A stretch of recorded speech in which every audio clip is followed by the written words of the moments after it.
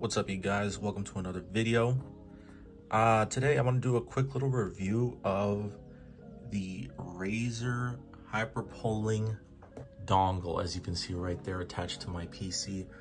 Now, at first, I made a short that said that the dongle works great and blah, blah, blah. And it does, it really works great. But here's some things you guys should know before purchasing the dongle. Now, number one, how to set up the dongle is basically having the dongle dongle plugged in, right? You plug it into your PC or whatever wire that it came with, came with, and you can stick this end that your wireless mouse came with, stick this end to your PC. Then you want to open up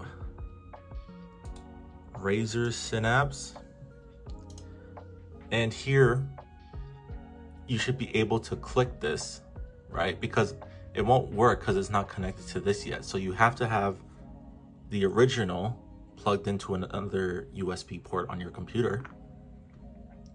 Click this and then just pair. And then once it's pairing, you can plug this out of your PC. And then it'll do its thing and then boom, you're in. So that's the first thing you should know. Now, the second thing you guys should know is when you change the polling rate from 2000 to 4000 hertz on the Razer Synapse program with the mouse, using the dongle, you're gonna notice around 2000, 4000 hertz that you're gonna wanna increase your DPI. So um, you go over here, you go to performance, and you're gonna wanna increase this from your usual. Before, when I had it at 1000 Hertz polling rate, my mouse is swinging around like it is right now. As you can see, I have it at 1000 Hertz. It's moving it normally around a circle. But when you increase it, it kind of slows down the sensitivity. I don't know if you can, you guys can see that, but it kind of slows down the sensitivity. So what you're usually at, increase it by like 200, 300, 400, and it'll feel kind of back to normal where you're usually used to your sensitivity.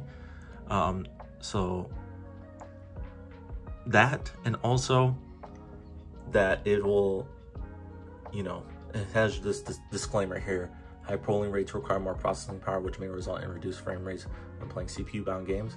But I'm sure anybody that's using like a 4,000, 2,000 hertz mouse, you should have at least like a 144 hertz 165 hertz you know or more monitor and you know a good rig to be able to run those um, high fps games and stuff like that. Uh, keep that in mind when buying the dongle. Now moving on to the last thing.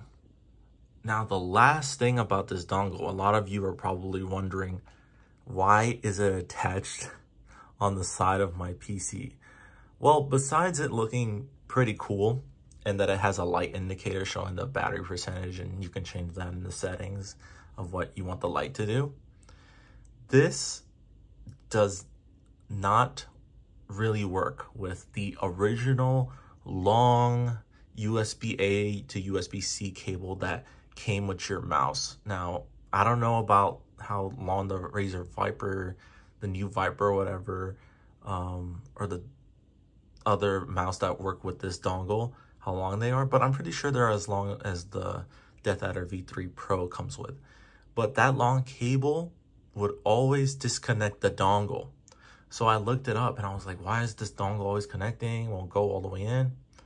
And quick thing, I found on Reddit that people replaced the original wire with a different USB-A to USB-C cable and it worked flawlessly. Like I would stop randomly disconnecting and it would stop randomly just cutting off.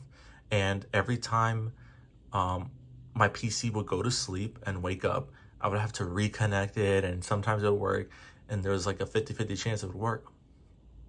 But now I just had an extra USB-A to USB-C lying around and I chose the smaller one. I had I had other ones like for my keyboard that were a bit smaller and that worked as well. but I had this one that charged, I believe, my wireless earbuds from Sony. So I'm like, well, I have other chargers for that. So I just used that for the dongle and it works perfectly fine now. Like I, my, my computer went to sleep. I turned it back on, moved my mouse around and it was connected instantly. That's pretty much it. Um, thank you guys for watching. I thought I should let you know before purchasing this $30 dongle or whatever. And um, um, keep this. You're going to need this definitely. So don't just throw this away, you know. And uh, yeah, thank you guys for watching. More videos coming soon. Sorry for the for the wait, but I've been testing two new keyboards out. Here's a sneak peek. Boom, boom. So coming very soon.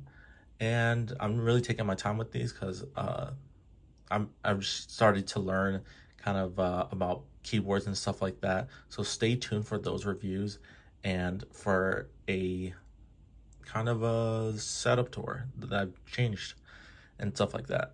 Stay tuned. So thank you guys for watching and peace.